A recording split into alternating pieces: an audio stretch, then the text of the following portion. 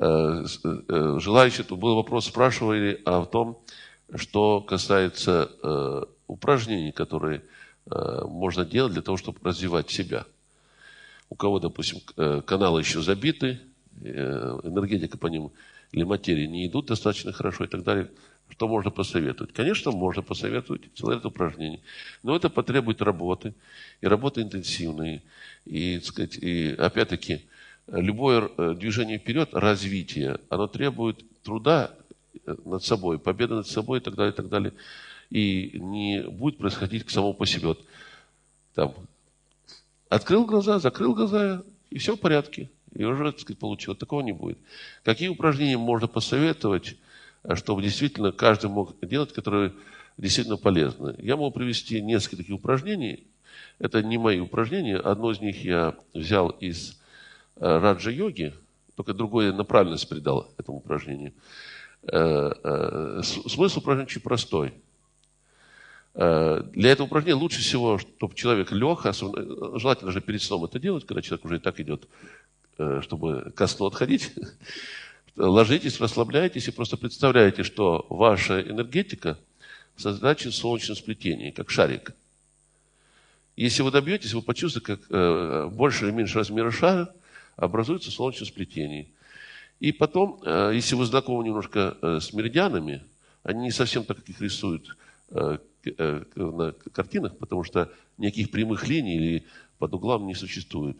Но меридианы проходят, и просто нужно представлять, что меридианы у нас проходят каждому пальцу руки и, соответственно, каждому пальцу ноги. И задача заключается в том, что при упражнении заставить создавшийся шарик в солнечном сплетении двигаться – вот направите, вот он пошел, идет, вот раз, дошел до пальчика одного. Обратно провели его, вернули. И по каждому пальцу прогулялись. Или, если можете, сразу по всем пальчикам рук и ног пройтись, туда-сюда. Э, просто скажу следующее. Чаще всего, вы, если э, не сразу получите даже собрать шарик в солнечном сплетении. Э, если получится собрать, это не значит, что вы начнете двигать, он не будет рассыпаться. Знаете, начнете двигаться, он раз распадется опять. Значит, опять вернуться, собрать и дальше идти. До тех пор, пока вы не пройдете вот, э, таким упражнением, не прочистите э, свой организм. Чем польза в этом? Польза несколько имеет. Э, почему? Во-первых, когда вы собираете потенциал, допустим, энергетику в своем солнечном сплетении, вы учитесь концентрировать энергию. Раз. Второе, когда вы удерживаете это, вы э, учитесь управлять этой энергией. Когда вы ведете по каналу, вы тоже и управлением, и удержанием его в нужном для вас состоянии. Плюс, когда вы проводите по своим каналам, вы их прочищаете, как, знаете, как ёршиком. Очищаете от шлаков, блокировок и так далее, и так далее. Вот одно из упражнений, которое э, может действительно очень быть э, эффективно и полезно. Э, другое упражнение тоже можно делать. Вот, руки ставить вот так и попробовать. Ну, попробуйте все сейчас. Просто возьмите немножко, встряхните так руки. И вот поставьте между собой. И вот э, постарайтесь настроиться и почувствовать, что как бы поток должен пойти от одной руки к другой.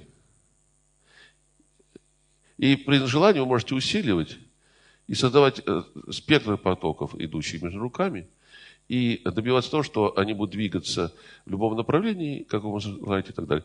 Это тоже очень полезно. Иногда можно проверить, что это уже не глюки, а реально это двигается действительно. Глюки, а вы пробуйте, если у вас не получается, как бы вы ни глючили, оно не получится. Дело в том, что это не может быть галлюцинация, потому что когда вы чувствуете поток, э, возникает определенное ощущение. Но если сейчас даже есть приборы, э, я приборы не пользуюсь, но есть э, прибор разработан, который позволяет косвенно, по крайней мере, регистрировать этот процесс. И вы можете просто имея, приобретя такой прибор, если вам э, будет возможность такое, э, смотреть себя до того, и, если, чтобы хотя бы ориентировочно иметь представление. Что-что? Ну, Короткова тоже, но он несколько другого плана работает. Это не, столь, не для этого. Это очень замедленно и так далее. Он может до того и после, вам нужно в динамике быстро. Э, это э, есть разработки, я не интересовался, поэтому можете поискать, найдете. Вот такие упражнения. Другие упражнения можете делать то же самое. Э, допустим, находясь в лесу, допустим, вы можете настраиваться и чувствовать, как говорится, потенциал дерева. разные породы деревьев вы будете чувствовать по-другому. Если дерево будет к вам доброжелательно, вы один, одно ощущать будете. Если, не дай Бог, вы сломаете ветку, то лучше не, не настраивайтесь на это дерево, оно может вас умазать хорошенько. То есть, понимаете, и вот тренируясь тестировать, допустим, вы можете почувствовать мертвую древесину и живую древесину, и почувствовать различия. То есть вы должны развивать свою чувствительность, потому что пальцы рук действительно, и особенно окончания, они имеют очень э, высокий уровень чувствительности, и если правильно их развивать, он э, позволяет очень много определить. Вплоть до, э, можно определять на огромном расстоянии, допустим, одну молекулу токсинов среди миллиона нормальных молекул. Точно достаточно хороший, да? И это вполне реально. Только опять-таки нужна работа, работа, работа и практика. И самое главное, э, уходить от шаблонов, к которым человек привык. Потому что когда человек привычно действует, шаблонно, то у него, к сожалению, ничего не получится, кроме того шаблона, к которому он привык. А это нужно совершенно по-другому воспринимать, совершенно по-другому так сказать, реагировать. То есть нужно изменить свое мышление, свое восприятие, по-другому воспринимать, видеть мир по-другому. А это, к сожалению, как показала практика, самое-самое сложное. Поэтому, конечно, самый лучший вариант – это заниматься с детьми. После рождения сразу давать правильный фундамент, и дети уже растут, формируются правильно, уже их не нужно ничего ломать, потому что э, когда ломаешь, все равно уже не то.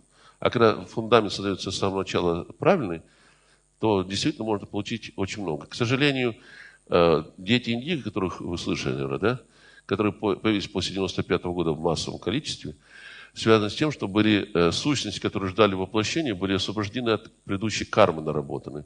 Но к чему привело? Их тут же начали пихать в разные секты, христианские и так далее, секты, чтобы использовать те возможности, которые у них есть, не развив их.